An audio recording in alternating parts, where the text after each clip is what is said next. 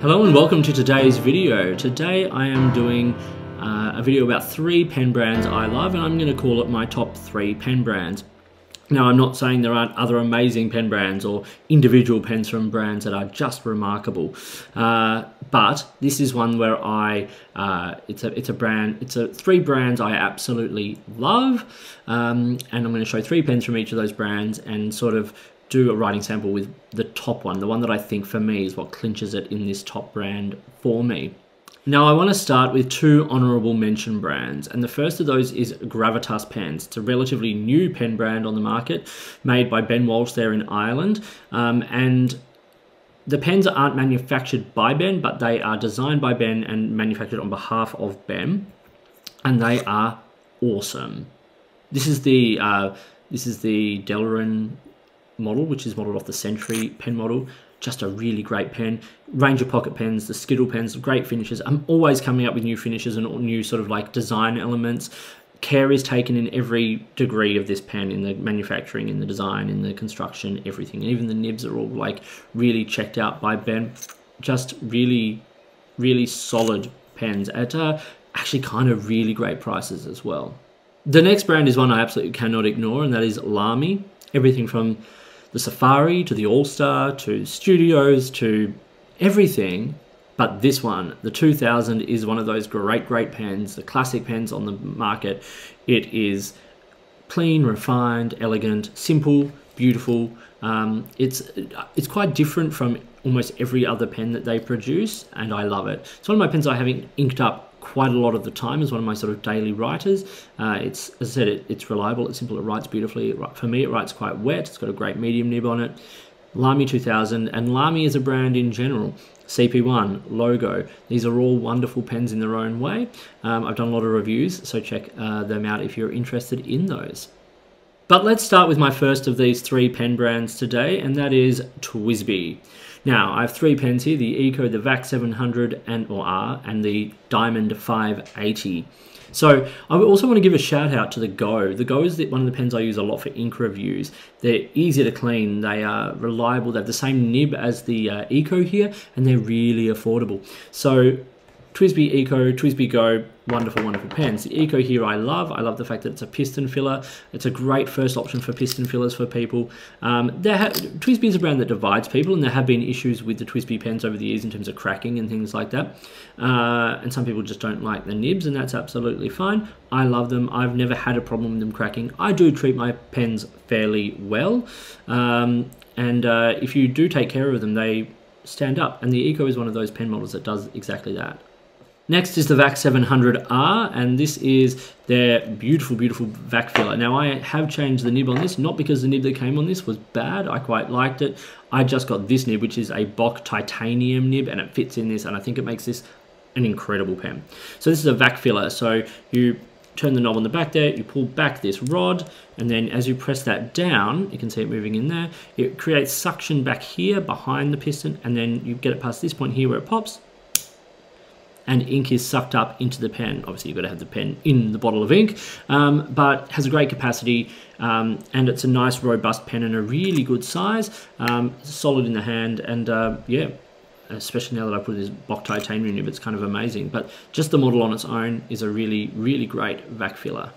And then, as I said, the last one here is the Diamond 580. This isn't the AL or the ALR or any of the special ones. This is the plain up, simple a uh, Diamond 580. I love this pen. I love the feeling in the hand. The balance is great. The size is great. The capacity is awesome. I write with this pen so much and for long periods of time because you know this is see at the moment it's inked up with um, Robert Oster Tranquility as you'll see in the write, uh, the writing sample. I write lyrics out for the shows I'm learning like I'm an opera singer as you can see all sort of the music everywhere. Um, this is one of those pens that really uh, is great for that because it's comfortable and it's reliable. I never have starvation issues or anything like that. It just keeps going. Um, it does write on the wetter side, so you do have to pick your paper. Uh, but in terms of uh, everyday writing pen from TWSBI, uh, this is a great one. Diamond 580. This is the regular 580, not the AL or the ALR or anything. Um, it's my preferred one of them. Another medium nib, very, very wet. very, very wet medium. Love it. And of course, this is very ink resistant paper, so it takes a little while for the ink to dry on the surface of this. Um, and the ink I have in this is Robert Oster Tranquility. Which uh, is probably one of my favorite inks. Um, and it's a, such a great color. It's a awesome on the page. It's a green that sort of dries, sort of more turquoisey, tealy green. So that was TWSBI, a really wonderful, affordable pen brand, uh, making pens that fit into those sort of um, entry-level categories in a lot of ways. Great piston filling, great vac, nice nibs, nice range of nibs available also. So let's now talk about the next brand, and that brand is Diplomat. Now, Diplomat have some pens that start in the 20 sort of ish dollar price range, a little bit more, um, and go up to really pretty expensive uh, pens, particularly if you get the gold nib options on a lot of them. And a couple of these have gold nib options, and they kind of bump up the price by like 150 to 200, you know, dollars. Um, but we're going to start with this one, which is the Esteem, which I think is one of those quiet achievers of the fountain pen world. It's a very simple pen, steel nib, smaller pen, international standard cartridge converter, which is what I use in it. I generally use cartridges. This is one of those pens that I have used quite a lot as a travel pen uh, because I can take the cartridge out, put a new one in relatively easy, and it's reliable. It always writes and it can kind of take most inks. Like a lot of pens are a bit fussy. These ones aren't. The Diplomat pens in general are really not fussy. Uh, so the Esteem a couple of interesting finishes going on on this pen at the moment that are available, um, so check it out. Next is a pen that probably is one of the ones that alerted a lot of people to this brand. Like Diplomat has a long history, and uh, but the Aero model kind of re-put it on the map, if you will. Um, lots of different finishes available. This is the Sunset Orange finish. It is a great pen. It's a great size. It writes beautifully. The nibs are all beautifully tuned by Diplomat in-house, which is wonderful. Um, it's just a lovely pen, and uh, eye-catching and unique and really beautiful. But the pen we're focusing on today is the Excellence A2. Now this is one of my absolute favorite pens, an absolute go-to everyday writer. I have it here in the evergreen finish. Uh, I wish I had the black. I'm probably going to get the black at some point. Um, this is a really great pen. It's great size in the hand. It's got a nice weight. It's a lacquered brass, so it's a fairly sort of substantial size pen. Writes beautifully. The nib is absolutely divine. There's not really a lot more I can say about this other than I just really love this pen. So we have the Diplomat.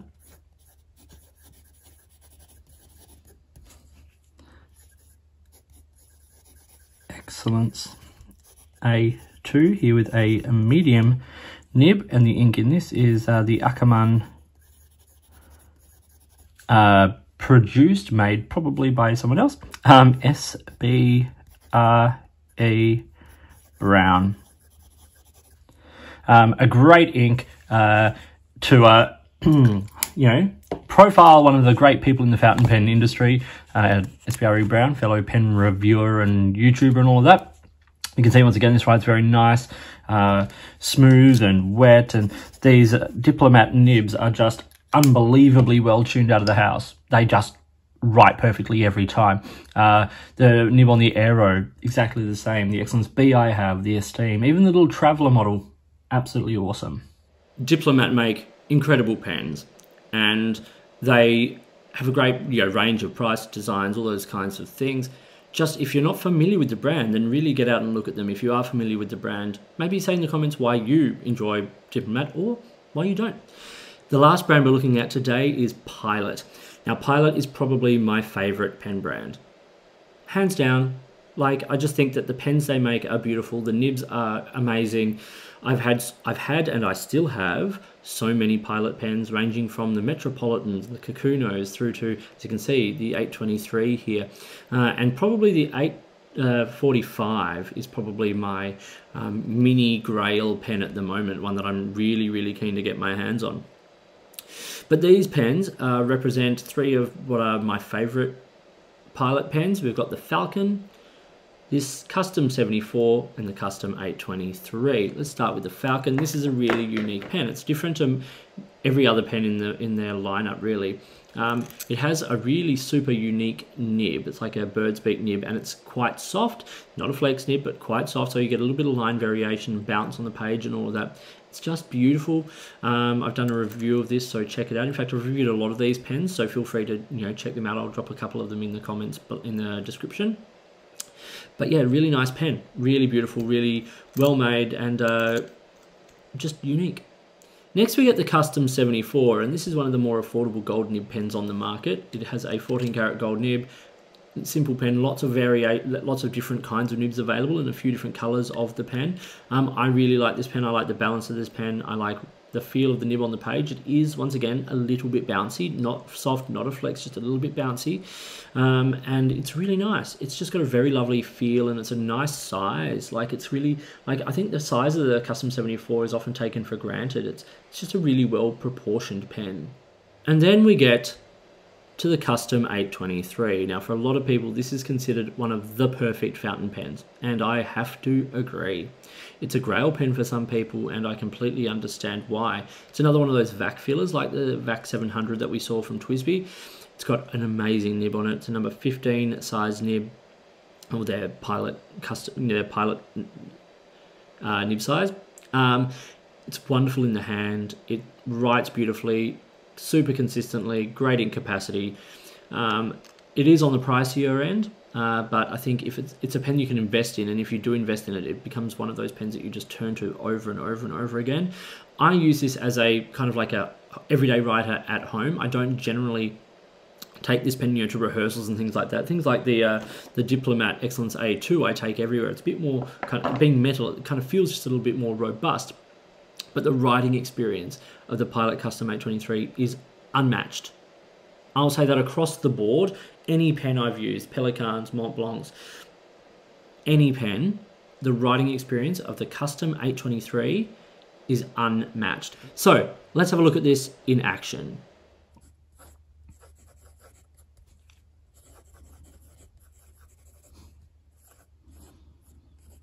And this is a broad nib give you a better look at that nib up and close there.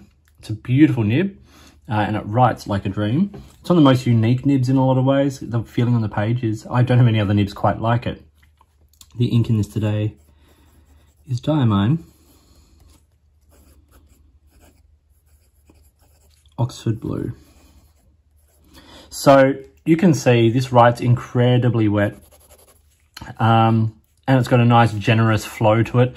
Um, Obviously, being a vac filler, uh, once this is clamped down, it does dry out a tiny little bit more as you write, uh, but with this being primed like that, um, it's, all well, it's very wet. I've just got ink everywhere. Um, but yeah, very, very nice pen. Uh, and um, here on the Endless 80 gram regalia paper, it is awesome.